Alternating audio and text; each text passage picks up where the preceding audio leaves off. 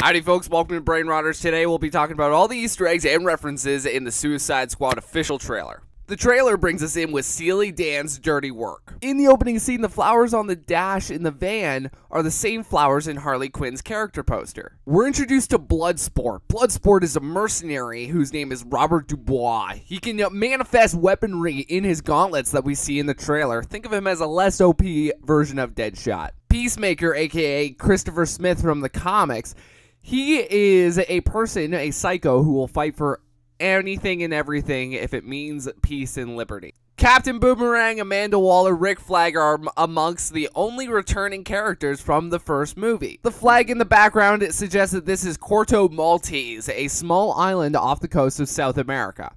Rick Flag's shirt translates to obstacles are opportunities.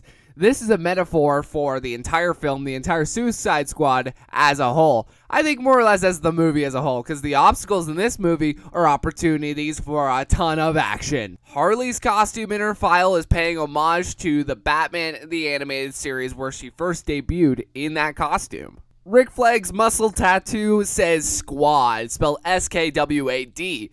In this case, I think it means he's fully embraced being part of the team, part of Argus, part of the process. We're introduced to Savant. He is a former vigilante, proficient torturer. Uh, however, he is current in blackmail. So, uh, in Gunn's movie, he also seems like he has high, high, high reflexes. After we're introduced to Pete Davidson's Blackguard, we are introduced to Weasel. Weasel is, of course, played by Gunn's brother, James Gunn, the director. His brother, Sean Gunn, who actually did the motion capture and the green screen for Rocket Raccoon in the Marvel movies. Back to Weasel, he is a bloodlustful villain. Now, Weasel actually ended up killing Thinker in the comics, or was actually the cause of the death of the Thinker. The Thinker, of course, being in this film, we can assume maybe this is foreshadowing that. Next to Weasel is a number 7661. If you plug this into Google, a Suicide Squad comic will pop up where Captain Boomerang joins the Suicide Squad. Now, this is safe to say that is foreshadowing the ragtag crew that Captain Boomerang is leading with Rick Flag is going to die in the opening of the film, and Captain Boomerang will go on to join the main squad. A number on the wall that reads EC20 refers to Suicide Squad number 20, where a vengeful Harley Quinn after losing her crush, Joker, after breaking up with Joker essentially, goes on a vengeful killing spree. And if you know from Birds of Prey, uh, we know that she emancipated from Joker, meaning she left Joker completely.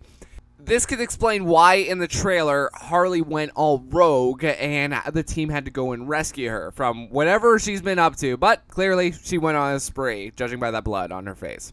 On that truck that Savant gets out of, there's a number 12 at the side of it. Suicide Squad number 12, a comic, is titled Who Killed Amanda Waller?